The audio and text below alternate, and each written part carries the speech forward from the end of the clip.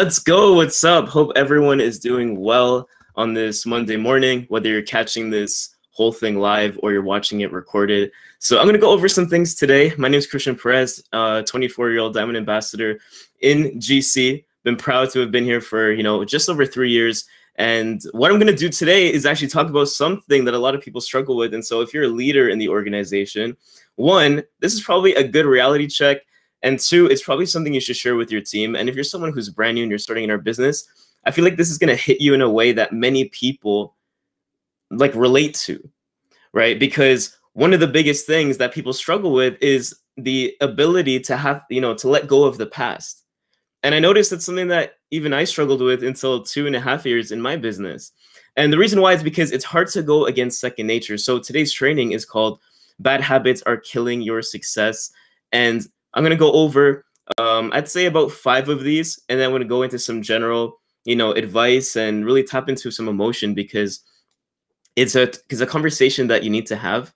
You know how when you're growing up, you get the talk from your parents this is like the talk that I need to give you in your network marketing business and just entrepreneurship as a whole. Because if you can't figure out network marketing, I promise in general, business is not meant for you. And so this is really important. So, number one, and one of the major habits that many people struggle with and it, and kind of it makes it hard for them to let go is their old circle, right? Their old circle is one of the biggest things they cannot let go of. All of you have those friends that you grew up with. All of you have you know those people that you used to surround yourself with. It's number one that old circle that is one of the biggest bad habits that we tend to keep around. And it's one of the hardest to eliminate because we're so used to these people we're influenced by these people our whole lives but we can't necessarily cut them out as easily you know as we think that's a huge struggle because many of us have people that have been influencing us a certain way for our whole life. They're the same people that when you start your business, they're not really sure about it and they're not supporting you. And you kind of get to see who the real people are. But even the people that do support you in your friend circle or whatever circle that you have, they don't even have to be friends, it could be family. If they're not serving you, then they're not really meant to be around, at least for now. And I'll explain why because a lot of what you sacrifice can be temporary, but some of it has to be permanent. Okay, so the old circle is really important. So maybe we have those friends that whenever we're around, we go back to our old way of acting. We start, you know, joking around a certain way that we never usually do in our business. We, you know, go to clubs or we do this, we go party, we do that. And my old circle when I was in university, actually, that was that was a big thing that we used to do all the time. We used to just screw around, you know, go go to parties and and do whatever. And it wasn't necessarily anything that like ruined my life, but it was more something that didn't serve what I wanted to become. And with habits, you want to become the next version of yourself. So if that old circle isn't serving you, you got to cut them out. Okay, so that's number one. Number two are your old routines. Your old routines are those are things that, by the way, aren't dependent on other people. Those are things that are dependent on you because you are in control of what you do every single day. So are you waking up really late? I know some people, maybe it's 10.05 right now. Some people might not have even made this call because they're so used to sleeping in. And that's maybe a bad habit that's not serving you, right? Another one could be, um, I don't know, I have a tendency to, you know, take naps during the day and, and that's wasting a lot of time or i have a tendency to never go to the gym and that's not you know helping my fitness or I have a tendency to just really go on Netflix. How many of you have those routines where you're on Netflix or you're on Disney Plus or you're on Amazon Prime or you know or you're on Apple TV? See why I know all of them because I used to do that. I, I know all of these streaming platforms because I used to do that. And that was an old routine that didn't serve me. I was spending too much time behind a screen watching things that were just for my entertainment, but I didn't really have anything that was actually that I was watching that was serving my knowledge and serving the reason, you know, why I wanted to be where I was at and, you know, go forward to become who I wanted to be. Because Christian 2.0, Christian 3.0, Christian 4.0, those are versions of myself that I have either gone to by eliminating a lot of these habits or I still have to go to by eliminating even more. And for some of you, that might be going to a part-time income. That might be going to a full-time income. That might be going to a six-figure income. You got to let go of certain things. And i'll explain why at the end more so after i go into the five into the five habits. But number two is your old routine. Okay? Number three is your self-image. And this one is really important because our self image is how we believe in ourselves. Brian Tracy, in his book, uh, The Psychology of Selling, says that the key difference, that whole book is a lot of value, but the main point is that the key difference between a great salesperson and a poor salesperson is their self image. And if you don't know what that means, that is how you perceive yourself, how you look at yourself. How good do you think you are? Now, we grow up in a society where so many things are said to us that kind of bring us down. And for those of you that are live here, you can probably agree with that. We are grown up in an environment, in an ecosystem that is bringing us down and lowering our level of thinking. We are not allowed to think big. We're not allowed to dream. We're not allowed to, to take risks because they're too risky and it's not what people do. And because of that, our self image tends to be one that we just you know we, we're just kind of like yeah you know that that's like a that's like a far-fetched idea. That's just a dream. That's something that i could never accomplish. You know i'm, I'm good where i'm at. I'm an average person. I'm never gonna wow if i see like a celebrity like drake uh, which is funny because it's funny story. I was actually with a couple members on my team. We drove by his house because he lives close to me in Toronto, and we drove by his house and we're like, like you know, it's it's funny because before back in the day I, I would have looked at that as completely unrealistic but now today i look at it as attainable and that's like a target. Um, but many of us are not allowed to think that big and because of that we're not we're not allowing our brains to grow. So your self-image is very important. If you believe you are a good network marketer you are a good entrepreneur you are a good person in general then every action that you do will line up with your self-belief and your self-image. If you don't believe in yourself then everything that you do is not going to line up with that and you're going to stay the person that you were before. You are going to stay that person that you were before. Do you understand? So a lot of us have a habit of not thinking too highly of ourselves because of the ecosystem and, and environment we're brought up in, right? But if we change that, and now we think, I'm going to shout out some people in the chat. We got Carlos. He wants to be the 2.0 version of himself. He's going to have to eliminate bad habits to get there. We have, uh, I think it's Emila. Same thing. She's going to want to become that 2.0, 3.0 version of, of herself. She's going to have to sacrifice who she thought she was before because now she's becoming someone else. So that's really important. Now we're going to get into number four, which is the most common one, which is your comfort zone. Let me say that again your comfort zone. This is the most obvious one and the one that we think of all the time. We think of the comfort zone as, I mean, that relates to everything I just said, but the comfort zone is one of those things where you know we we look at it and it's it, it dictates everything that we do. And if you don't think it does you're really mistaken because today i don't care how much money you make even myself even myself at the current rank that i am today i still have to make sure i'm battling and not just battling but winning that battle against my comfort zone. Because your comfort zone manifests itself in many different ways. It is not just one it is not just two it is like thousands.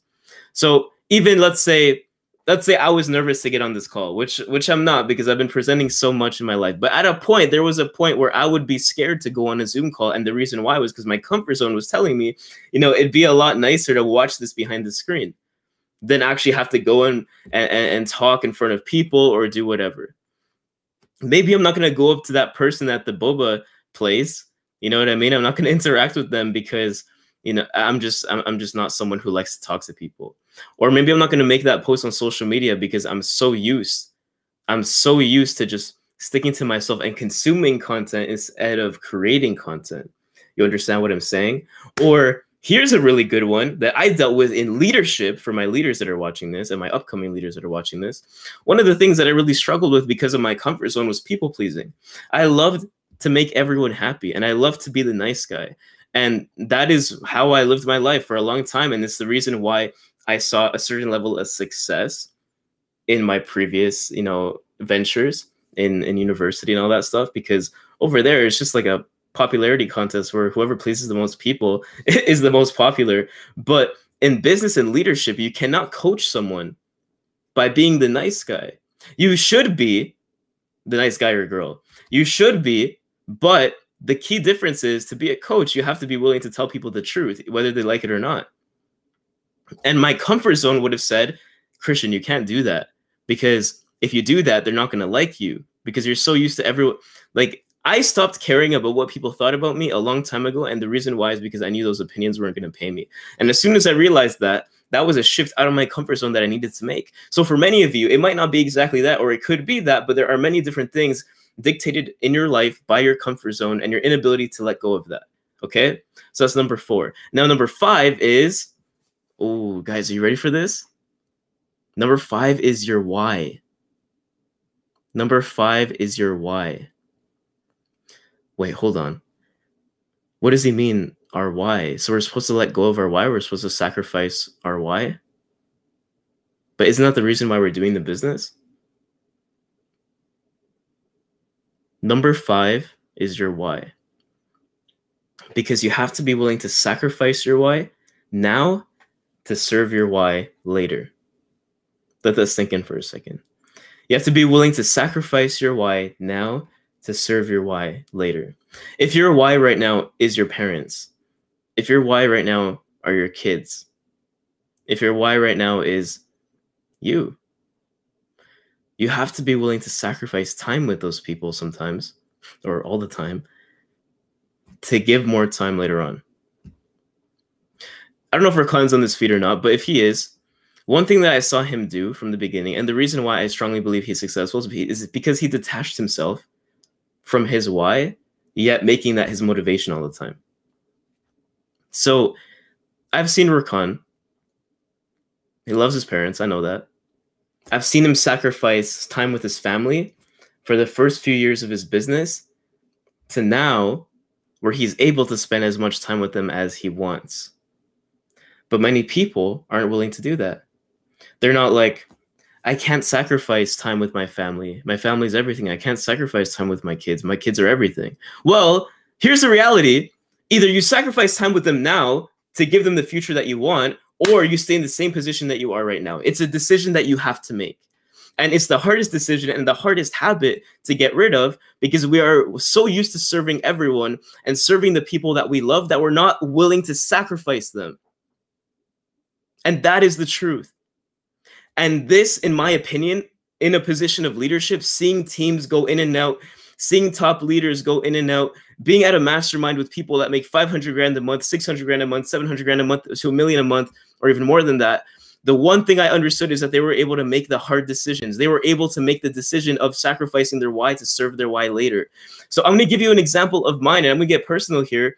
My my dad is one of my biggest why. My parents are, but my dad my dad is not young. He's not he's not a young chap anymore. I think he's approaching 70. And so I tell myself, do I have like I want to spend all my time with him and my mom. But I sacrificed them when I first started this business. And a lot of people are like, how did you do that? Um, what I did was I would stay at school, I would go to university, just so there's no there's no excuses here. I was a full-time university student a year ago. Okay. What I would do for the first two years of my business, I would go to my classroom, go to my classes, study, and when classes were done at like 3 p.m., 4 p.m., or whatever time it was, I would stay there until midnight at my university because I knew I had to leave my I had to leave my environment that I was in because it didn't serve me. The support wasn't there. The elevation of my mindset wasn't there. It was a distraction. Everything that distracted me was in my place. So I had to be willing to sacrifice that and even sacrifice and say no to family functions or this. I, I can't go out for breakfast today, mom and dad. I'm sorry, I can't. I'm just, I'm doing a call. I'm working on the business. And because I did that then, now I have more time with them today and I'm able to support them financially. But if I didn't make those hard decisions, I probably wouldn't be able to do that today because I'd still be stuck doing the same thing over and over again. Now that's going to either hurt you or it's going to hit you. You choose which one it is. It's going to apply to you in different ways. But these things, and that's that's the last point, by the way. Those five things and those five habits are probably the reason why you feel stuck right now. Or if you're just starting, these are going to be the hardest, you know, what is it called? What are they called again? Um, like final bosses in each like video game. These are like these are like the final bosses that you have to battle in each level. And until you can beat all these bosses, you're not going to be able to create the life that you want because to become the person that you envision in your head and the person that you want to be, you have to sacrifice the person you were before you got started. Does that make sense? If people tell me, Christian, you seem so different from when I met you, good. Because if I wasn't different, then I didn't do a good job at getting to the next level of myself, the next version of myself. And that would actually be a failure. So I'm glad that I changed. Don't change your morals, by the way. Don't change who you are. I'm still the same person at my heart, but I have a different mindset about life and I have a different work ethic. It's different. I'm able to make the hard decisions now. I'm able to prioritize people over myself. I'm able to do the things and sacrifice, you know, time with certain people or cut off certain people that didn't serve me. Because at the end of the day, you're doing this for you. And if you're doing it for someone else, they got to understand that sometimes, you know, you got to set time aside so you can focus on you and your business to succeed to serve them after. All of these habits are like ropes around your waist. I need you to, so there's five of them. And by the way, there's so many more, but these are the five that stood out to me. And these five can be ropes around your waist. Imagine you have like a harness and there's five ropes attached to you. Every time you let go of one of these habits, one of the ropes break. And now you can finally walk a little bit. There's a little bit less tension. But you can't ever go forward to the next version of yourself if you can't cut off all these ropes. So I'm going to ask you and leave you off with this can you cut off all those ropes? Because if you can, you'll get to that 2.0, 3.0 version of yourself. If you can't, you'll be stuck in the same position that you were when you started. Okay, that's that's all I have to say. GC or whoever's watching this, I hope you gained some value. This is going to be one of the realest conversations that you've probably ever had. So share this with your teams. I promise you, this will create a lot of success stories. Anyways, guys, take care. Don't forget to subscribe to the channel.